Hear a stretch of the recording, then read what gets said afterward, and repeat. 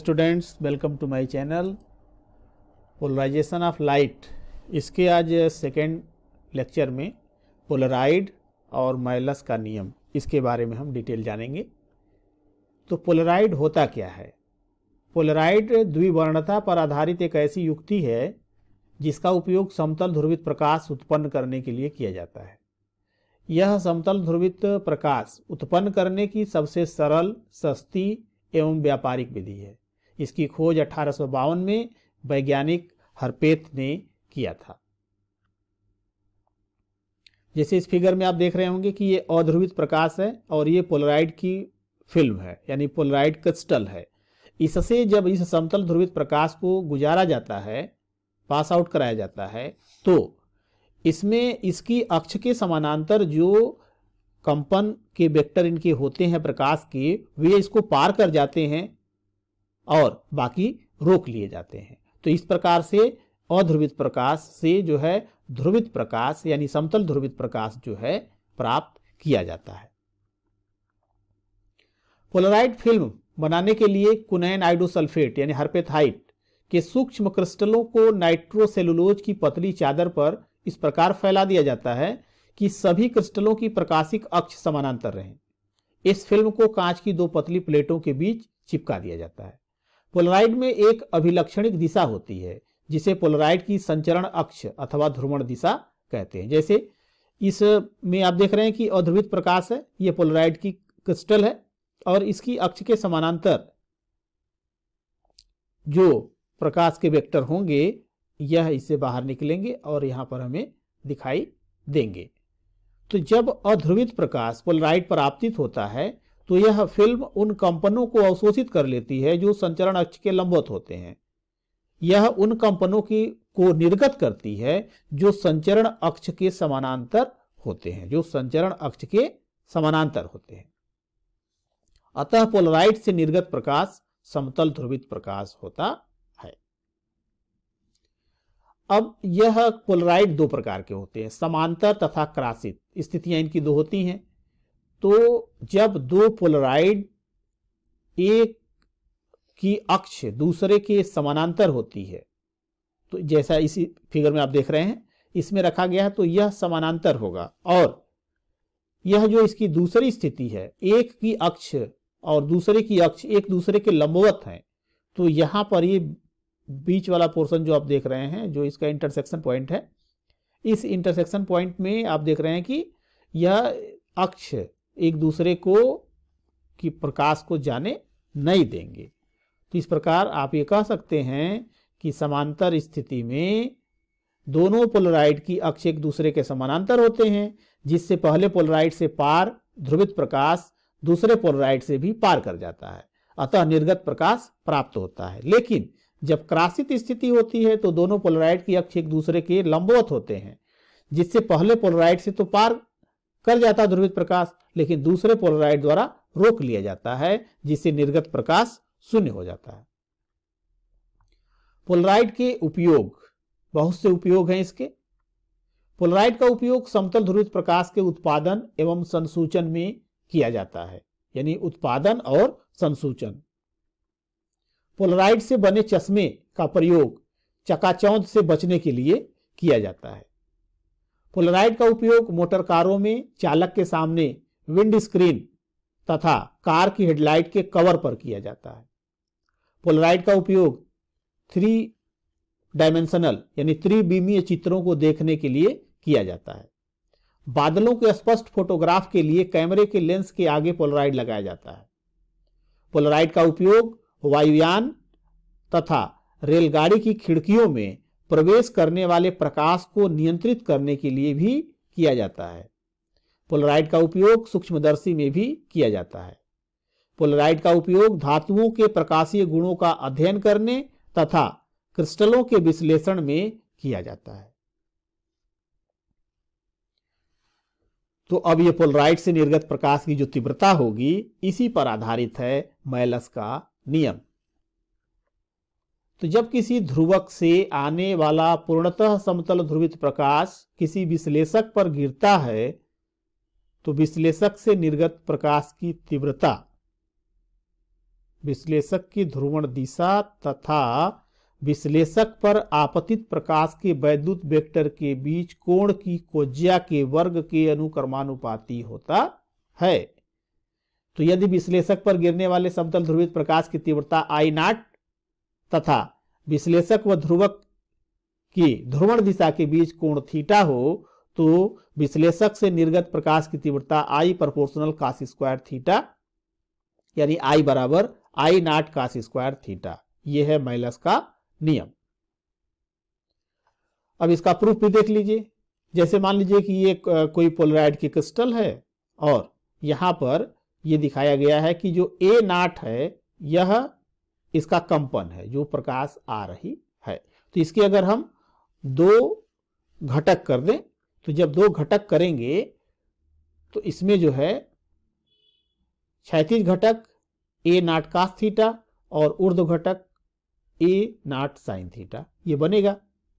Polaroid केवल अपनी संचरण अक्ष के समानांतर कंपन को ही निर्गत करता है, यानी इसकी अक्ष इस प्रकार से है वाई वाई डैश के लांग।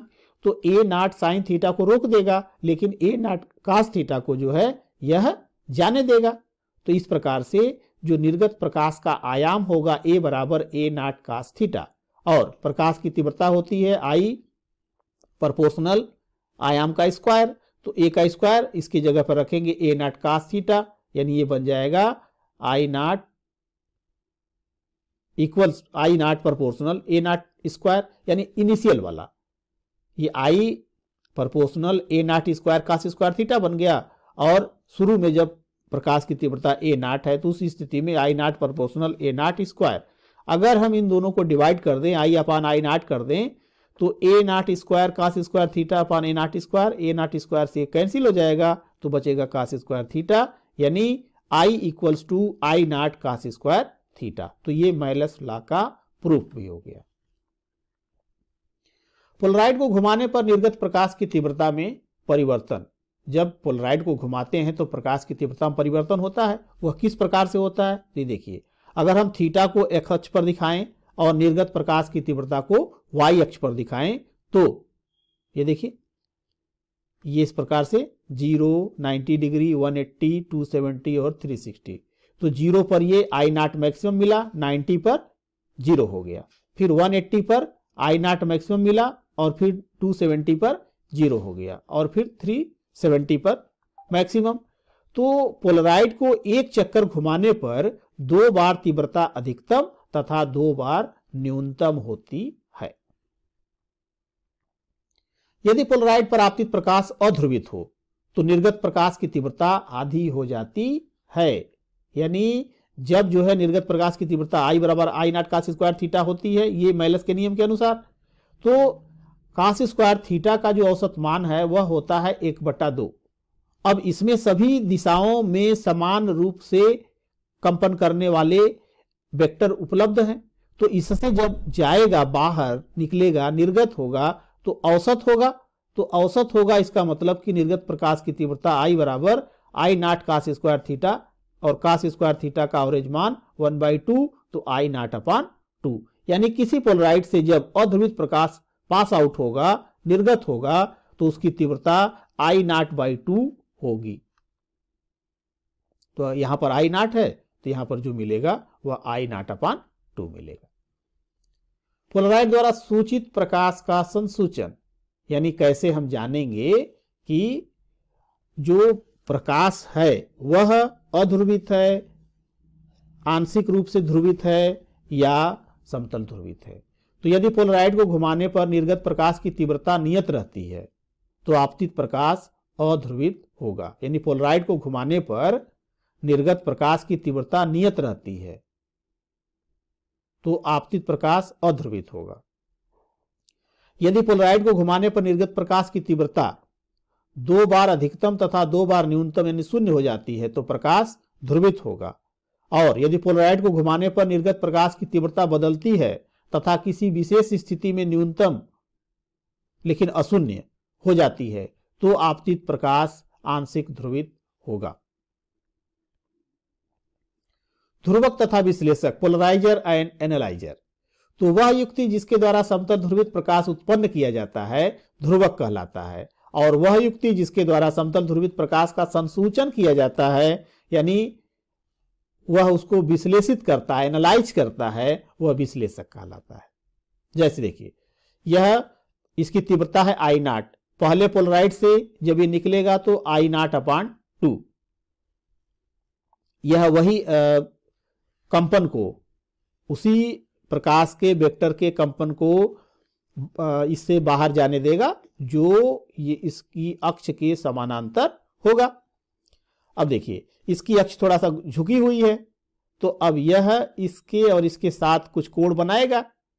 तो ये अगर कोण थीटा है तो अब यहाँ पर आई टू होगा, यहाँ की जो तीव्रता है I one into cos square theta तो ये जो है ध्रुवक हो गया और यह विश्लेषक हो गया। जैसे देखिए ये ध्रुवक और यह विश्लेषक, इन दोनों की अक्ष के बीच में ये कोण थीटा। तो एनालाइजर और पोलराइजर, दोनों के बीच में कोण थीटा है।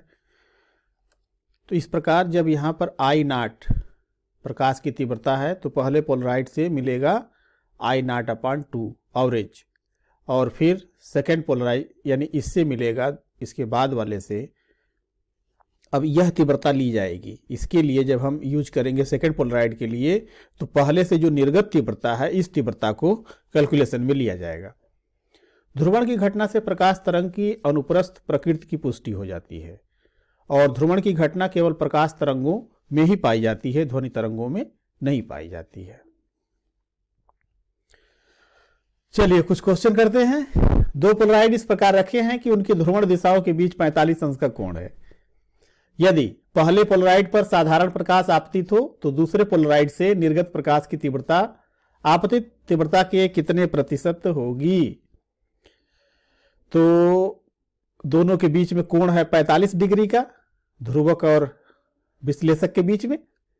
आई नाट यहाँ से यहाँ से मिल जाएगा आई नाट अपॉन टू अब यहाँ से आई टू कितना होगा? तो आई टू बराबर ये I one cos square forty ये थीटा फोर्टी फाइव है। कास फोर्टी फाइव का मान एक one upon root two one upon root two का स्क्वायर करेंगे तो एक बटा दो और आई नाट अपान टू तो इस तरह से हो जाएगा आई नाट अपान फोर तो आई टू अपान आई नाट बराबर एक बटा चार तो निर्गत प्रकाश की तीव्रता प्रतिशत में हो गई I two upon I naught into hundred यानी one by four into hundred यानी ट्वेंटी फाइव परसेंट एक पोलराइड पर समतल ध्रुवित प्रकाश पोलराइड की ध्रुवण दिशा से 45 डिग्री और 60 डिग्री पर गिरता है। पोलराइड में निर्गत प्रकाश की तीव्रता, आपतित प्रकाश की तीव्रता की कितने प्रतिशत होगी? थीटा 45 डिग्री है तो मैलस के नियम से I one, I cos square 45 और cos 45 five one upon root का, रूट टू का स्क्वायर तो ये मिल जाएगा वन अपान टू, यानी आई नाट अपान, यानी आई अपान टू हो गया। तो आई वन अपान आई बराबर एक बटा दो प्रतिशत में बनाएँगे तो आ जाएगा पचास प्रतिशत।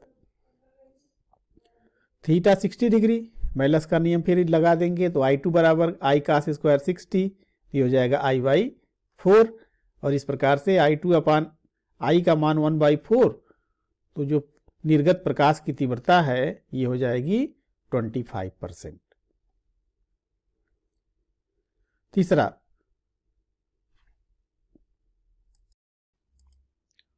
प्रकाश का एक पुंज जिसकी तीव्रता 10 वाट पर मीटर स्क्वायर है तो दो पोलराइडों जिनकी ध्रुवण दिशाएँ परस्पर लंबवत हैं से निकलता है। निर्गत प्रकाश की तीव्रता क्या होगी? तो इस क्वेश्चन में आप देख रहे हैं कि दिया कि दोनों पोलराइड की ध्रुवण दिशाएँ परस्पर लंबवत हैं। तो जब परस्पर लंबवत हैं, यानी दोनों पोलराइड क्रासित है, यानी थीटा का मान 90 डिग्री है तो माइलस के नियम से I naught cos square 90 cos 90 zero हो जाएगा। इसका मतलब कि निर्गत प्रकाश की तीव्रता शून्य होगी। क्वेश्चन नंबर चार। एक पोलराइट पर समतल ध्रुवित प्रकाश पोलराइट की ध्रुवण दिशा से 30 डिग्री के कोण पर गिरता है। पोलराइट में निर्गत प्रकाश की तीव्रता अपतित प्रकाश की तीव्रता की कितने प्रतिशत होगी? चलिए, निकालते हैं इसको। यदि समतल ध्रुवित प्रकाश की तीव्रता आई है तो थीटा बराबर 30 डिग्री दिया है। माइलस के नियम से आई वन बराबर I cos square thirty cos thirty हो गया रूट थ्री बाई टू और इसका स्क्वायर करेंगे? तो तीन बटा चार आ जाएगा, यानी थ्री आई बाई फोर तो आई वन अपान आई बराबर थ्री अपान फोर तो इसको परसेंटेज में बदल देंगे, सौ से गुणा कर देंगे दोनों तरफ़ दिया जाएगा seventy five percent question number पाँच. एक पोलराइड ए तथा पोलराइड बी क्रासित स्थिति में है। पोलराइड ए पर 100 वाट पर मीटर स्क्वायर तीव्रता का अध्रुवित प्रकाश आपतित होता है। पोलराइड बी को 30 डिग्री घुमा देने पर पोलराइड बी से निर्गत प्रकाश की तीव्रता की गणना कीजिए। ए से निर्गत प्रकाश की तीव्रता कितनी होगी? तो आई वन बराबर आई नाट अपान टू हो जाएगा, और एच तो सौ बटा दो यानी पचास वाट पर मीटर स्क्वायर हो जाएगा। दोनों पोलराइड क्रासित हैं, अर्थात 90 डिग्री पर हैं। तो जब बी को 30 डिग्री घुमाया गया तो दोनों पोलराइड के बीच जो कोण बनेगा 90 माइनस थर्टी हो जाएगा, यानी 60 डिग्री। तो अब पोलराइड ए से निर्गत समतल ध्रुवित प्रकाश की तीव्रता आई वन है। तो माइलस के नियम से बी से निर्गत प्रकाश की तीव्रता आई टू बराबर I one cos square sixty और कास सिक्सटी का मान एक बटा दो तो एक बटा दो का स्क्वायर तो एक बटा चार हो गया, यानी I one upon four I one पचास है पचास बटा चार तो बारह दशमलव पाँच वाट पर metre square question number six किसी पारदर्शी माध्यम का ध्रुवण कोण 60 डिग्री है, ज्ञात कीजिए माध्यम का अपवर्तनांक और अपवर्तन कोण। ये दोनों में संबंधित है तो ध्रुवण कोण दे दिया गया है। एन बराबर टेन आई पी निकाल लेंगे, एक दशमलव सात तीन दो आ जाएगा। स्नेल के नियम से एन बराबर sine I upon sine R I का मान आई पी है, sixty degree N root three है और आर फाइंड करना है तो वैल्यू पुट कर देंगे तो साइन आर का मान आ जाएगा एक बटा दो, जो कि साइन थर्टी के बराबर है तो आर बराबर थर्टी डिग्री। तो यहाँ पर जो अपवर्तन कोण मिलेगा, यह थर्टी डिग्री के बराबर होगा। इसे हम दूसरे तरीके से I P plus R equals to ninety degree होता है, उससे भी निकाल सकते हैं। क्वेश्चन नंबर सेवन दो पोलराइड ए तथा बी क्रासित स्थिति में रखे हुए हैं। इनके मध्य पोलराइड सी रखा गया है, जिसकी अक्ष पोलराइड ए की अक्ष से 30 डिग्री झुकाव पर है। ए पर आपतित अध्रुवित प्रकाश की तीव्रता आई है तो बी से निर्गत प्रकाश की तीव्रता ज्ञात कीजिए। इस फिगर में आप देख रहे होंगे। यहाँ पर आई तो यहाँ से निकलेगा तो आई ए, सी से निकलेगा तो आई सी और बी से निकलेगा तो आई बी।